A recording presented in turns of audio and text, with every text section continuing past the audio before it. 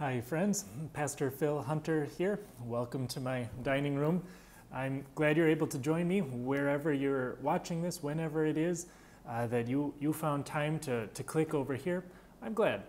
Uh, grace and peace are yours through Jesus. And if there's any way that Citrus Grove Lutheran Church and Wesley Chapel can help connect you with Jesus, keep you walking closer to Jesus, growing healthier in your heart, that's what Jesus does for you. And that's what we're here to, to facilitate Him doing that and then uh, causing you to be productive and fruitful. That's, uh, that's what we're all about. Well, this, this weekend, we're, we're looking at a, a miraculous uh, accomplishment that God does. So many times that's what we're, we're looking at God doing something outside of, of what uh, typically happens, uh, the humdrum of a day to day kind of routine. God interrupts that. And I hope He does that for you too, uh, both in causing you to reflect on, on what He says. Hopefully, it moves you to repent of the things you've done wrong, to look to Him for forgiveness. That, that busts up the monotony of your day to day life or of your regular uh, workday routine. Uh, to, to pause, reflect, apologize, and confess, and to know that you're forgiven through Jesus, your Savior. That's the, the only way you can, can be absolved and forgiven, and the, the slate is wiped completely clean. That's just what He does. Um, it's also uh, important for us to look back on what Jesus did and, and said and the promises God made and kept in the Bible so that we learn those and know those better learn more about the God that we're, we're worshiping, and so that we can look ahead and see, see what's going to happen. Who is this God that's going to, to come back to this world and, and, and rescue us and bring us to be with Him forever? We want to know Him as well as we can. And we get to know each other too. So before we dive into today's uh, Bible reading and sermon, let's, let's uh, talk just for a minute about that. Citrus Grove Church, for these last several months, has been in a state of getting ready and preparing and uh, getting ready to roll out the red carpet for, for guests in our neighborhood, family and friends who live nearby. We're going to invite them all uh, for the first time, kind of, for uh, a grand opening service. Our, we're calling it a launch weekend or a grand opening, call it whatever you want. For regulars, it's going to feel a lot like a regular church service. We're not going to do anything crazy or weird. We are who we are. And so we're going to invite the neighborhood to come and see who we are, uh, observe a worship service, uh, see if this is something that they see as important for them too, to grow healthier inside, to have more fruitful life. Uh, we think it is. It's something that's good for everybody in Wesley Chapel and Zephyrhills and Pasco County. Uh, so we're going to invite everyone. Uh, we have flyers, we have invitations, we'll have links that you can send out. Uh, send an email if you aren't part of our, our, our weekly mailing list, because that is full of, of good information and, and um, other resources for you. Uh, that same weekend, uh, so I was talking about the grand opening on December 5th. The day before that, this coming Saturday, December uh, 4th, uh, is, is a, our family Christmas fair. So volunteers are getting ready to, to host different stations around Pinecrest that Saturday morning from 9 to 11.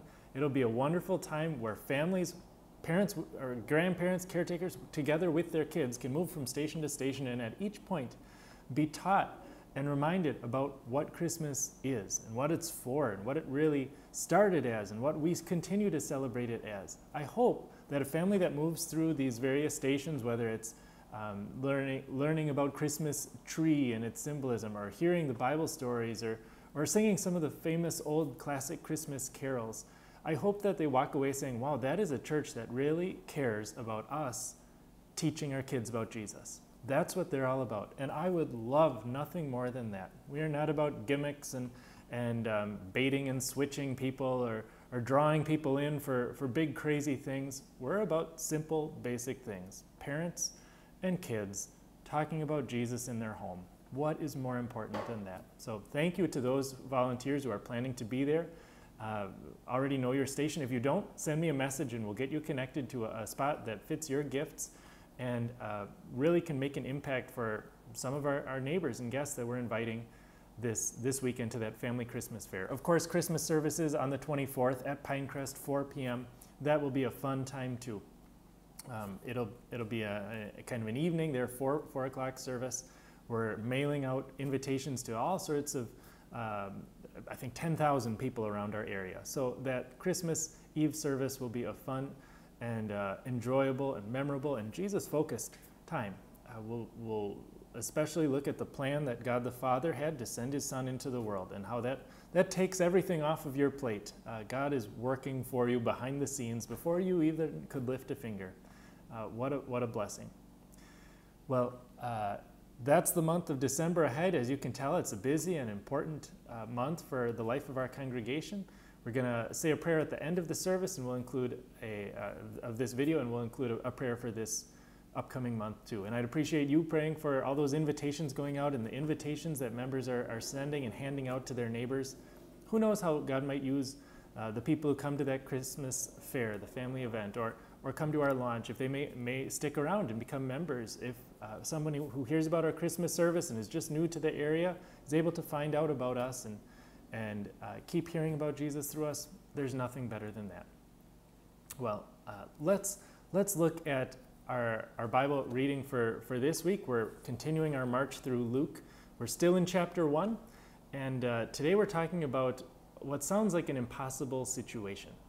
Have you ever been in an impossible situation? You're probably going to say, oh, yeah. Uh, I was stuck, I was at wit's end, I, I had no options, it was impossible. The reality is, no, you weren't. It seemed like it was. Uh, you couldn't think out of, uh, of any ways out, but hmm, precious few things in this universe are actually impossible especially for Christians like you, because you know someone who has a track record of taking impossible situations and with a snap of his fingers, a, a, word from his mouth, the impossible happens. Things you would never have expected could, could, could take place happened. Uh, and it proves to us maybe some of these things are possible after all. So today I want you to engage with that the, the tension that you faced constantly, this matchup between uh, two opposing truths. One side says, this is an impossible situation, and the other one says, actually, it's not. Impossible, possible. Welcome to this, this tension. This is what your, your life consists of all the time. Uh, today, our tour guide through thinking about that is an angel, uh, name of Gabriel, talking to a woman in northern Israel. Listen back and imagine the sights and sounds of that day. Luke chapter 1. In the sixth month of Elizabeth's pregnancy, God sent the angel Gabriel to Nazareth, a town in Galilee, to a virgin pledged to be married to a man named Joseph, a descendant of David. The virgin's name was Mary. The angel went to her and said, Greetings, you who are highly favored, the Lord is with you. Mary was greatly troubled at his words and wondered what kind of greeting this might be. But the angel said to her, do not be afraid, Mary. You have found favor with God. You will, be, you will conceive and give birth to a son, and you are to call him Jesus. He will be great and will be called the Son of the Most High. The Lord God will give him the throne of his father David, and he will reign over Jacob's descendants forever. His kingdom will never end. How will this be? Mary asked the angel, since I'm a virgin. The angel answered, The Holy Spirit will come, come on you, and the power of the Most High will overshadow you. So the Holy One to be born will be called the Son of God. Even Elizabeth, your relative, is going to have a child in her old age, and she was said to be unable to conceive, is in her sixth month. For no word from God will ever fail. I'm the Lord's servant, Mary answered. May your word to me be fulfilled. Then the angel left her. Impossible, meet reality. Turns out God could let Elizabeth, that you mentioned here in a, a couple of times, uh, God let her have a baby despite old age and, for, and infertility. Everyone on earth would have said, impossible. And God says, well, normally, yeah, but not if I make an exception. Mary politely asks the angel how a virgin can have a baby. On the one hand, it's impossible. On the other hand, you're saying it's going to happen. The angel gives an explanation, and then a promise, and then a signal to her that it's true.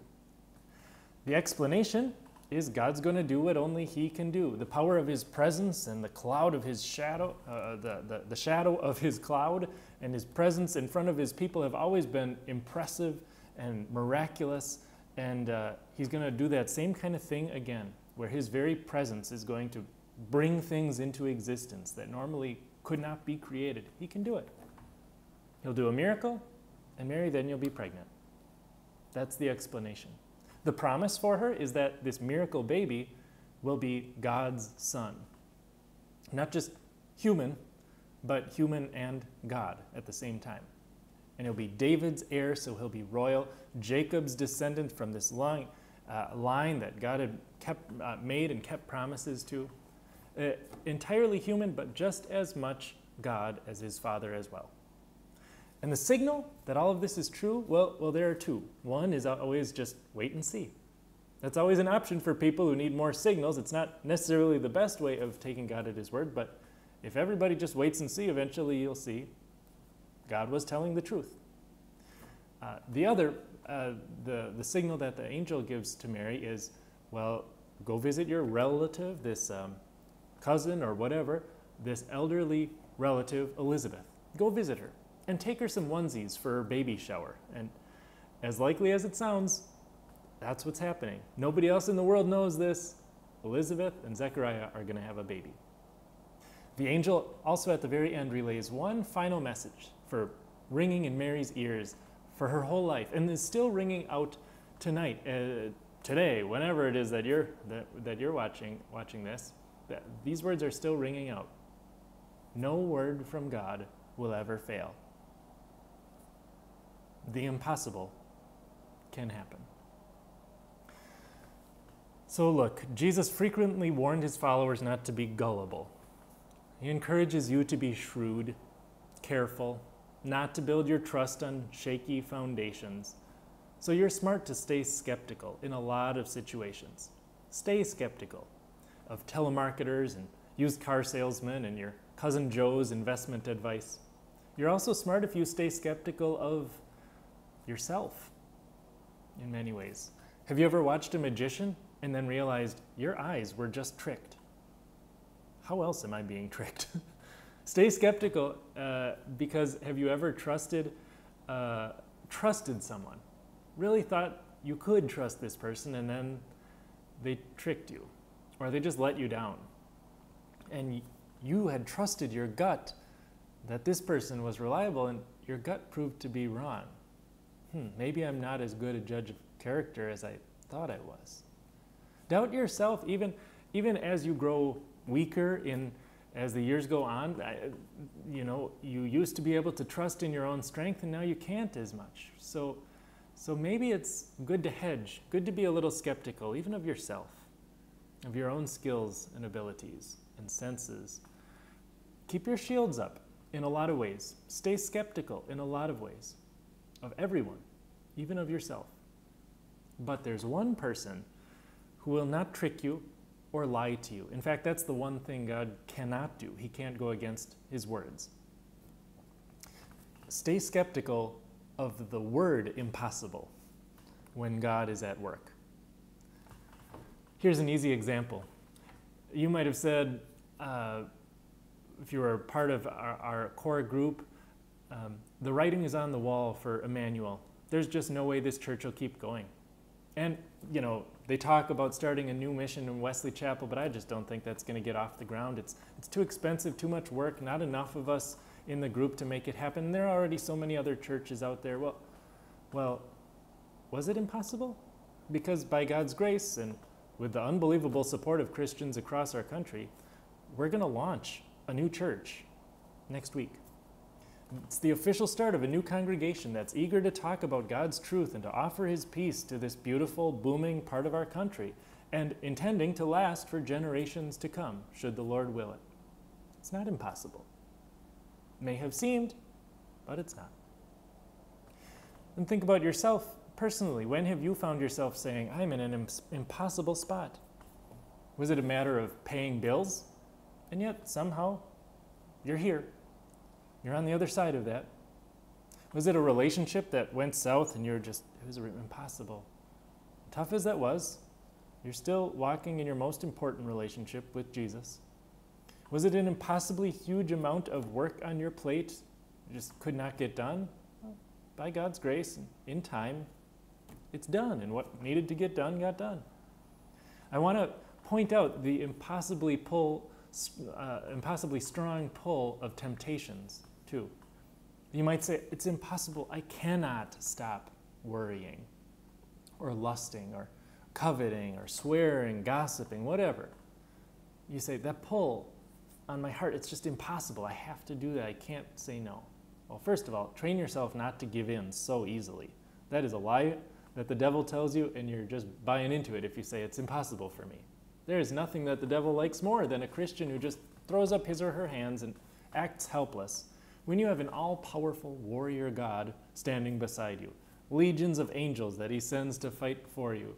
Uh, you can say it's tough, and you can acknowledge that you'll have a sinful nature your whole life, but don't jump straight to it's impossible, not when God is at work. Here are two helpful passages. First is Titus chapter 2. Paul reminds Titus that the, the grace of God that Jesus showered on you not only saves you from your sins so you go to heaven someday, that same grace, the verse says, teaches us to say no to ungodliness and worldly passions and to live self controlled and upright and godly lives in this present age. In this present age, not just in heaven, now. So Jesus' miracle working power isn't just for someday, it's for every day. But it's a, it's a teaching, the verse says. He teaches you. It's a learning process with its ups and downs and traps and stumbles and, and constant forgiveness from Him. But but it's full of peace all the way because Jesus, your Savior, is the one teaching you. So don't say it's impossible, not if God is at work. The other passage is 1 Corinthians 10 13. It's a famous verse with a less famous second half. It starts out saying, God is faithful. He won't let you be tempted beyond what you can bear. But it goes on. When you are tempted, He will also provide the way out so that you can endure it. If you've been tempted to what you would consider your, your limit, you'll find yourself saying, I'm a, an impossible situation here. And maybe you are. But if you listen carefully, you heard that God promised to let you bear that test and temptation and to endure it. He'll give you the strength to deal with it, not necessarily escape on your terms, not necessarily let it pass as fast as you'd like. He'll help you bear it. He'll allow you to endure it so that it's not impossible for you. You can make it through. Uh, you might face incredible challenges and a super strong temptation or a very difficult burden as long as you walk on this earth. Jesus isn't preventing all of that. You may face those things. But here his promise is to make you be able to bear and endure it and, and, and endure an otherwise impossible burden without Him. People close to you might even be shocked how you're able to have such peace like you do, or, or, or be so loving and caring for, for people, even though it's so exhausting, or, or how you just keep putting one foot in front of another if it's just been a string of bad news. When you have, when, when you have uh, so many things in front of you and you have to face, uh, uh, face the reality of the difficulties in front of you, well, then you can paraphrase that angel and say this God makes the impossible possible. I guess that's how I'm making it through. God's allowing an otherwise impossible situation to be possible. Ultimately, God will do a miracle and will bring you out of that impossible, difficult bind. And in heaven, He'll give you freedom and health, uh, or whatever you never got to have here in heaven. Uh, have, have here on earth, you'll have it in heaven. Friends, one final encouragement today. After doing a miracle in the Bible, God rarely stopped to tell his people, Look, I just did a miracle right there. He didn't need to say those words because they already got it. They had their jaws on the ground. They were shocked at what they had just seen. They knew it was something impossible, and their minds were still being blown. You too, you're not going to get the voice of uh, of uh, you know an announcer out of the sky saying, "See that right there? That was a miracle. See what I just did? You remember how you thought you were in an impossible spot, and I just did a miracle and helped you out of it, helped you handle it." You're just glad to be done with it in that moment. Hopefully, you say thank you to the Lord for for getting you through. Look, God might do impossible seeming things by suspending the way He normally has things operate in the world, whether whether medicine or physics or whatever. He can just pause things that we perceive as laws. He's the creator. All of those laws of nature have to give way to nature's creator. If He wants to change them for a minute, they have to bend to His will. Though, of course, you might go your whole life without ever seeing anything like that, and that's fine. No one else needs to have a virgin birth because God worked the right miracle at the right time there with Mary. But you have seen miracles, even if you've never seen uh, God suspend the laws of nature or physics or whatever. You've seen miracles, by which I mean you have witnessed God make the seemingly impossible possible. God works in a hard heart or a guilty conscience or a doubt filled mind, and He's able to create faith, strengthen the trust in Him, using nothing but a simple message of Jesus. That's a miracle. God can take ordinary water and some words and He washes away sin. He gives new life and salvation, and He brings even babies into His kingdom.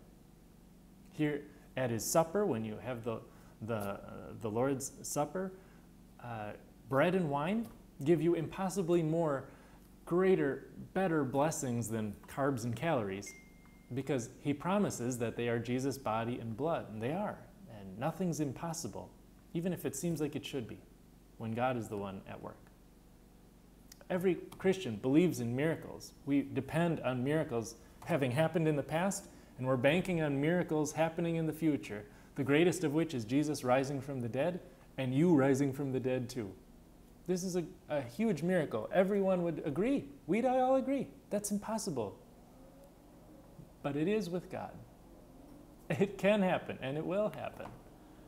And now, you could just wait and see, or you can trust His word that when He says something is possible and going to happen, it really will. The miracle of Christmas is not a fat man squeezing down a chimney in time to bring gifts to all the children. The miracle of the first Christmas was a God who arranged all the impossible pieces just so, so that your Savior would be born in just the right way. The miracle of today is that He keeps walking with you. That same Savior, and He fills you with peace that He has done everything you needed Him to do, and that He will, and that He can bring you out of all life's impossible situations because they're not at all impossible for Him. Amen. Let's pray. Lord Jesus, thank you for redeeming us, being born at just the perfect time in just the perfect way, even though it seemed so impossible.